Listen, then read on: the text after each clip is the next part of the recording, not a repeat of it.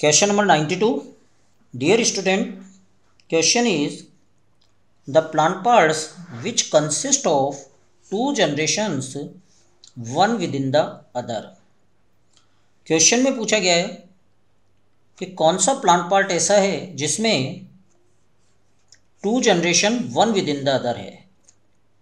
सबसे पहले हम बात करें टू जनरेशन्स की। Two generation two generation means year one that is gametophytic generation और haploid generation and second generation that is sporophytic generation और टू एन जनरेशन ठीक है? अब हम स्टेटमेंट देखते हैं प्लांट पार्ट देखते हैं. First is pollen grains inside the anther अगर हम यहाँ देखें pollen grains pollen grains they are having two different cell one is generative cell and second is vegetative cell ये जो पोलन ग्रेन होता है, इसमें दो सेल होती है, एक जनरेटिव सेल और एक वेजिटेटिव सेल, और दोनों सेल हैप्लोइड होती है so pollen represent the gametophytic generation.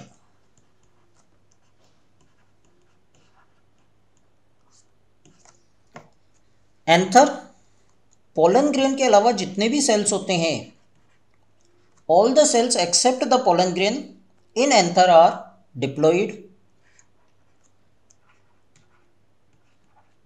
it consist of anther wall cells तो ये जो एंथरवॉल सेल होती हैं, ये डिप्लॉइड होती है और ये स्पोरोफाइट को रिप्रेजेंट करती है। Pollen grain inside the anther pollen grain gametophyte anther sporophyte so two generation one within the other तो ये सही होगा। B germinated pollen grain with two male gametes अगर हम जर्मिनेटेड पोलन ग्रेन की बात करें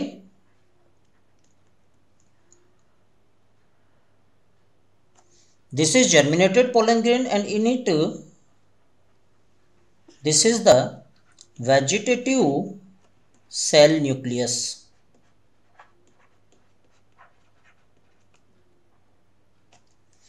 and this vegetative cell nucleus, this is haploid. ये वेजिटेटिव सेल न्यूक्लियस हैप्लोइड होता है और टू मेल गैमिट्स और ये जो मेल गैमिट्स होते हैं, ये भी हैप्लोइड होते हैं. Means germinated pollen with two male gamete represent only gametophytic generation तो इसमें केवल एक जनरेशन होगी, इसलिए ये गलत होगा। Third is seed inside the fruit अगर हम सीड की बात करें तो seed it consist of seed coat and embryo and seed coat and embryo both are diploid seed coat और एम्ब्रियो जो होते हैं, ये दोनों के दोनों डिप्लॉइड होते हैं मींस ये दोनों के दोनों स्पोरोफाइटिक है। देन फ्रूट तो जो फ्रूट वॉल होती है, ये फ्रूट वॉल भी डिप्लॉइड होती है। तो यहाँ पर seed and fruit both represent the sporophytic generation तो ये भी गलत होगा। D embryo sac inside the ovule अगर हम बात करें एम्ब्रियो सेक की,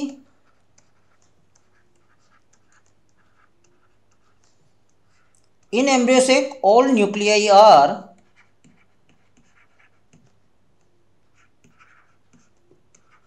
haploid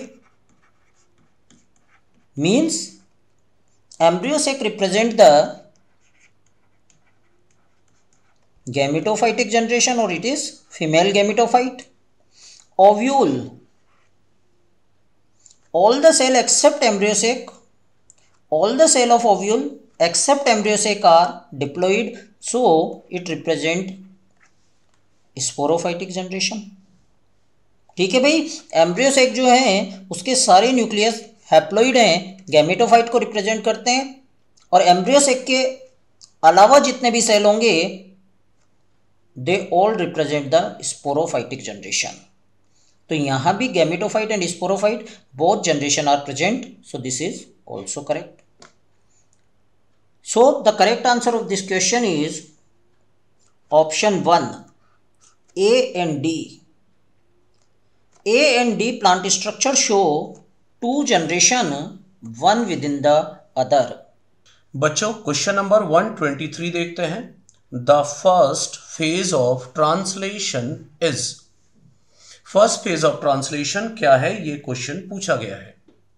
और आप सबको बच्चों पता है कि आपको एनसीईआरटी फॉलो e करनी है, राइट? तो एनसीईआरटी e में एनसीईआरटी ट्वेल्थ e जो है आपकी, इसमें पेज नंबर 114 में लास्ट पैराग्राफ जो है, पेज 114 के लास्ट पैराग्राफ में एनसीईआरटी ने लिखा है, ट्रांसलेशन के अंदर, in the first phase itself amino acids are activated in the presence of ATP and linked to their cognate tRNA, a process commonly called as charging of tRNA or amino acylation of tRNA.